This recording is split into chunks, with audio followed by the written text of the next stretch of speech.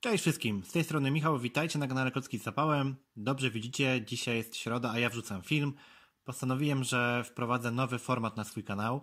Będą to krótkie, około dwuminutowe filmy, które będę publikował w środku tygodnia. Zapewne w środę, ale czasami może się to przesunąć na wtorek lub czwartek. A o czym będą te filmy?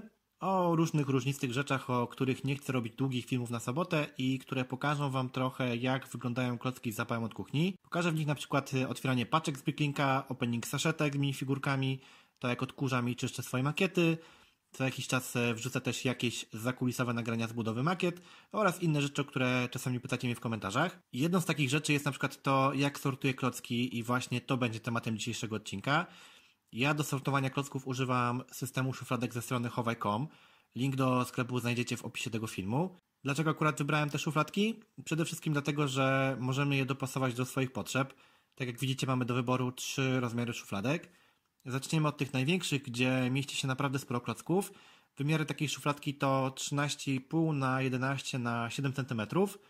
Następnie mamy średnie szufladki, które mają taką samą długość i szerokość, ale są o połowę niższe.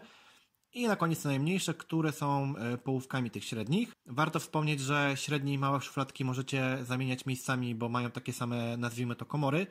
No i dużym plusem jest to, że mm, szufladki wsuwają i wysuwają się bez większego oporu. Oprócz tego systemu używam też e, moich starych szufladek, które kupiłem lata temu w Castoramie. Tutaj jak widzicie wszystkie szufladki mają ten sam rozmiar.